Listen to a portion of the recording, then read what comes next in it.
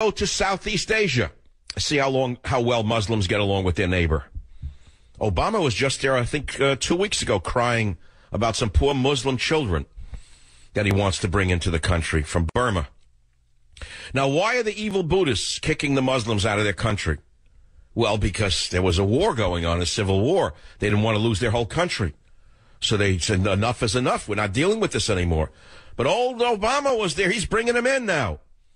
Bringing them into the land of the free and the home of the brave, where they'll get along just fine with all you Christians and Jews as they have for, well, I, actually they don't.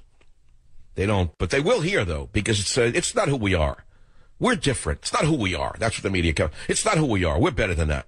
We're better than that. We're better than that. It's not who we are. It's better than we're better than that. It's not who we are. Not who we are. Not who we are. Not who we are. Not who we are. Not who we are. Young married couple, newlywed couple, newlywed couple, workplace violence, Christmas party, holiday party, workplace violence. Not who we are. Not who we are. Where is the head of Department of Homeland Security? The people are, eh, the stockholders of the company called America saying, where is this jerk? He failed us again. Where is Jerky Johnson? Where is Jerky Johnson, the head of the DHS today? Anyone know where Jerky Johnson is? He failed us again. No, no problem though. He's bringing in Syrians. He's busy signing them up, bringing them in, new army coming in. He's in charge of bringing them in, not kicking them out. You hear this? Did you ever see anything like this that the head of the Department of Homeland Security would be tasked with flooding America with military age males from a war torn Muslim country instead of making sure that we don't have another attack here? Can you imagine such an upside, topsy turvy world? Now I just got a, report. Obama is planning on dumping Syrian refugees in Redlands, home of the terrorists, right in San Bernardino, and the people don't even want them. Can you believe this? Syrian African refugees are being dumped into Redlands by Barack Hussein Obama. It's incredible. Nobody can believe this, bringing them right into this area. More of them. San Bernardino plan for refugees. The area around San Bernardino, California, is the site of intense debates about Muslim immigration that immediate days before Wednesday night's horrific mass shooting. Police searched a home in Redlands, 15 minutes away from where the shooting occurred, as part of its investigation into the suspects. So far, the name Saeed Freak has been given as a suspect in the case. The U.S. State Department recently chose Redlands as the proposed site of a Syrian refugee settlement due to its already active Middle Eastern immigrant community. Now hold on to your chairs, all you good Catholics. Are you ready? I want you to get your uh, crucifix, and I want you to hold it in your right hand. Catholic Charities was identified as a broker for the federal government program. Catholic Charities was identified as a broker for the federal government program. Catholic Charities was identified as a broker for the government program of bringing in Muslims. Citizens in Redlands, California took action in response to the area's Muslim immigration threat, appearing before the town's mayor in a public forum in October to say no, no, no. Catholic Charities was identified as a broker for the federal government program. Ooh, that hurts. Ooh, that hurts. That really is painful. 855 400 7282. We welcome new callers. I'll be right back. Join the Savage Nation. Call now 855 400 Savage. 855 400 7282. Savage. The Savage Nation is sponsored by SwissAmerica.com, the only company I trust to protect my wealth and financial future. Call 1 800 289 2640 can make a difference, and clearly the evidence of mass shootings, in fact, there is a mass shooting every day in this country, can be prevented by background checks, extending those background checks to the unlicensed sales. Senator from And also closing the loop. Blumenthal, Blumenthal with the weird voice. I think we need a background check on Blumenthal to see if he's sane. I would like a background check on Obama. Why didn't they do a background check on Obama before they elected him president? He wouldn't have passed. He couldn't have become his own Secret Service agent because of his known associations with known terrorists like uh, Bill Ayers.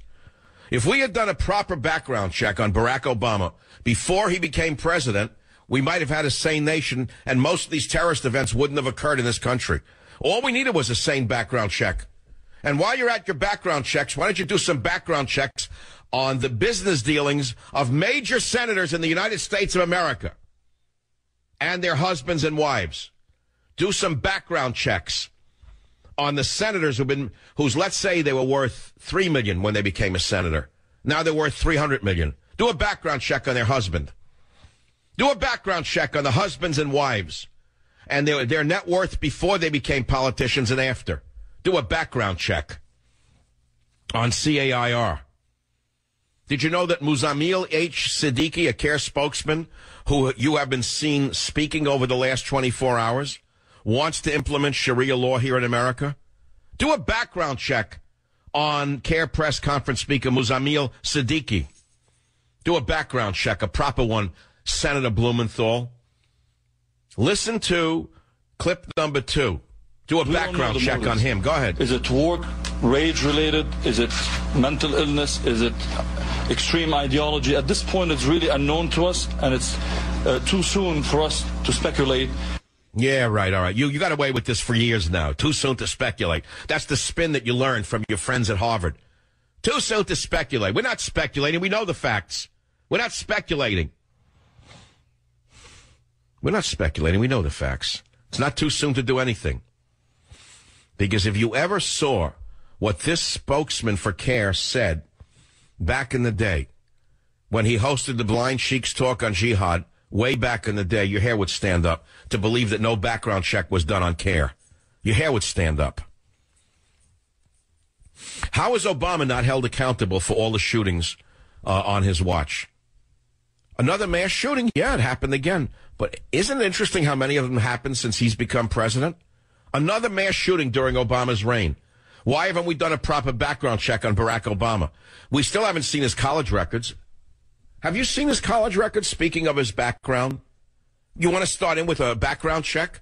Start with the politicians who are apologists for radical Islam. Start with a background check of everyone running the intelligence agencies. Start with your proper background checks.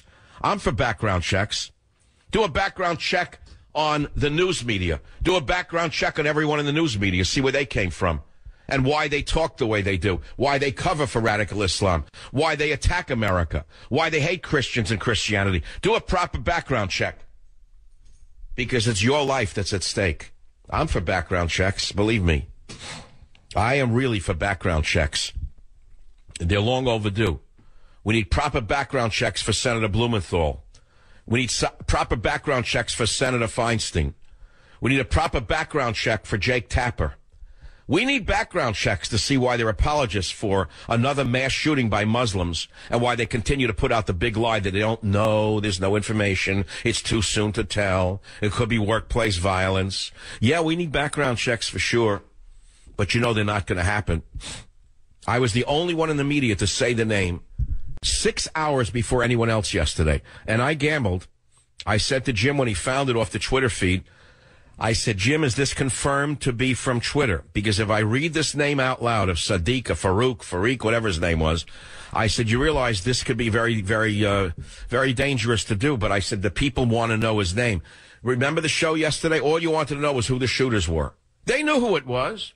They knew his name was Freak, whatever. Saeed Freak. They wouldn't put it out there, though, because they didn't want you to put two and two together. They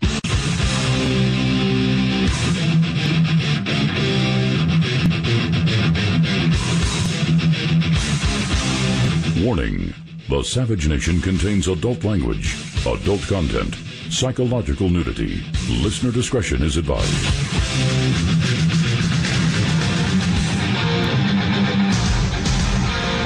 And now, America's most exciting radio talk show, The Savage Nation, home of unprotected talk, borders, language, culture.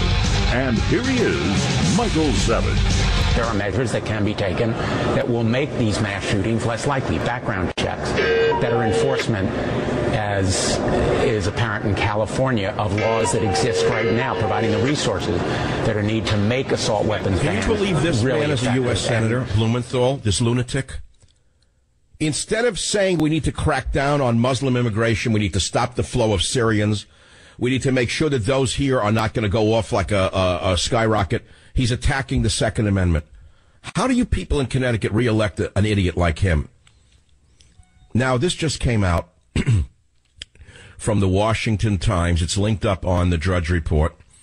This shows you it was definitely workplace violence and that it was the holiday party that set them off. San Bernardino killers erased digital presence day before the attacks. See, even though someone may have insulted him at the holiday party, said something offensive to a Muslim or to a Middle Easterner, uh, they had rented a black SUV. They had made pipe bombs for weeks with other Muslim men in their garage. They bought a, uh, AR-15s out of state. Someone bought it for them. You know, made pipe bombs, and it was all because of the offensive party, obviously. But uh, apparently, this innocent newlywed couple began erasing their digital footprint a day in advance of the attack. This innocent newlywed Muslim couple deleted email accounts. This innocent Muslim newlywed couple disposed of hard drives. This innocent newlywed Muslim couple smashed their cell phones, according to law enforcement sources involved in the investigation. Officials are still working to determine what motivated Saeed Rizwan Freak and his wife Tashfeen Malik to storm a conference room inside the disability center during a holiday party and spray the room with bullets. It couldn't be their holy book. It couldn't be that at all because that's never happened before on Earth. It didn't happen in Paris. It didn't happen in uh, Mumbai. It never happened before. They killed 14. They injured 21. Many of whom will die. And uh, then, of course, there was the over excessive force by the police that mortally wounded the uh, innocent, uh, newly wedded Muslim couple. And I think there should be a thorough investigation by Ayatollah Sharpton, because after all, Muslim lives matter. And we don't even know if their hands were up. I mean, did the police kill two Muslims in cold blood? And I want a, I want a thorough investigation. Because although the couple went to great lengths to conceal their plans, a cell phone recovered from Ms. Malik's body was only newly purchased and had only been used that day. Two other cell phones that were recovered had been smashed with a hammer and were expected to be sent to the Federal Bureau of Islam's forensic lab in Washington for examination. But they'll have to go through CAIR first. I would think that the FBI's forensic lab first needs to get a mullah from CAIR to tell them if they can uh, do it properly. Well, authorities also noted that a hard drive and motherboard are missing from a computer found at the Redlands, California home that the newlywed Muslim couple rented. Now, on Thursday, that's today, investigators revealed that 12 pipe bombs and more than 4,500 rounds of ammo were recovered from the home. Now, that's in addition to the more than 1,500 rounds of ammo found in the SUV that the innocent newlywed Muslim couple used as they tried to evade police. It could be they were evading the police out of fear, out of racism. Someone could have triggered them. It's true they smashed their hard drive, bought body armor, made pipe bombs with fellow Muslims. But it could be they were triggered at the holiday party by some reference to Jesus, for example. Maybe somebody wore a cross and sent them off. Maybe somebody made a derogatory remark or looked at them the wrong way. And the police certainly overreacted, as you well know. I'm sure that Blumenthal or Dianne Feinstein would have done it more peacefully. They could have taken them in peacefully. Why couldn't they shoot them in the legs, for example? Liberals would ask. Why didn't they taser them? Um, let's see. There are other methods, non-lethal methods to bring in crazed people like this. Taser, shooting them in the legs. Let's see. What else would a liberal come up with? Robert, can you think of anything else? Maybe Doctors Without Borders should have been called to uh, have negotiated with them as the car. Why did they have to riddle the car with bullets like that? Why did they do that? I mean, the officers began a pursuit. And it's true that Malik began firing at them from the back seat of the rented SUV as Freak drove to evade them. But they could have just been running away out of fear. Because this is not done in Saudi Arabia or Pakistan, where she's from. In all, the Muslim attackers fired 76 rounds at the police, while law enforcement officers unleashed 380 rounds. That's a lawsuit right there. I'm sorry. 380 to 76? Isn't that unfair? I mean, they were outgunned.